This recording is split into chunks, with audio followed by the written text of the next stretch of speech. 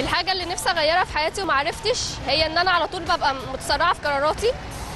آه، ساعات كتير جدا بختار غلط. إن أنا أقدر أقول لأ في حياتي دايما عموما لأن معظم القرارات اللي باخدها أو إن حد بيطلب مني حاجة فأنا ما بقدرش أقول له لا ابطل امتحانات أصلا عشان يعني زهقت من كتر الامتحانات وكفاية كده يعني. بصراحة ما سألتش نفسي السؤال ده قبل كده. مش عارف أقول إيه. الطيبه بتاعتي باخد على الناس على طول يعني بسرعة. حاجة اللي نفسي أغيرها إن مثلا أبطل عصبية. يعني الواحد دلوقتي بقى عصبي لدرجة إن هو ممكن يخسر تلات أرباع صحابه بسبب العصبية دي. نغير الدكاترة عشان بيجيبوا لنا أسئلة صعبة. مستواي التعليمي كنت من وأنا من صغري يعني بحاول إن أنا أنمي نفسي في المستوى بس دايما ما بعرفش يعني مثلا أنا كشاب بحب إن أنا أخرج كتير. إن أنا أكون باردة. أنا عصبية جدا. نفسي ما أزنقش نفسي ليله الفاينل ولما يبقى عندي مثلا أجازة أسبوع قبل ال final ولا حاجة أذاكر في الأسبوع ده. كنت عايزة ألتزم في الجيم بس ما عرفتش.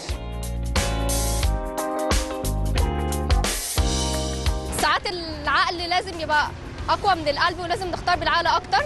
عشان اكتشفت إن اللي بيوقعني في الغلط هو القلب مش العقل. قبل كده ما كانش عندي ثقة في نفسي بزيادة دلوقتي الحمد لله ابتديت إن أنا آخد ثقة من خلال ال- أكتر من مجال معين بدأت أدخله وإن أنا أكتسب خبرة شوية. أنا ما اسمعش الناس اللي بره وأغير من نفسي وأكون واثقة من نفسي كويس قوي تسرع مثلا يعني دي دي حاجة كانت مشكلة عندي بس قدرت إن أنا أعمل لها management في حياتي. قدرت أشيل مسؤولية نفسي وأهلي وكنت الأول ما بشيلش المسؤولية خالص يعني مدلعه جدا. كنت تخين جدا والحمد لله خسيت 16 كيلو. واللي عرفت أغيرها إني ركزت في دراستي أكتر. الأول كنت آه، مستواي كان زفت خالص في التعليم بسبب آه، يعني كان الشغل وحاجات كتير في التعليم وكده كان مقصرين معايا. بس الحمد لله غيرت ده ودخلت الكلية عرفت إن أنا أحقق نجاح وأكمل تعليم.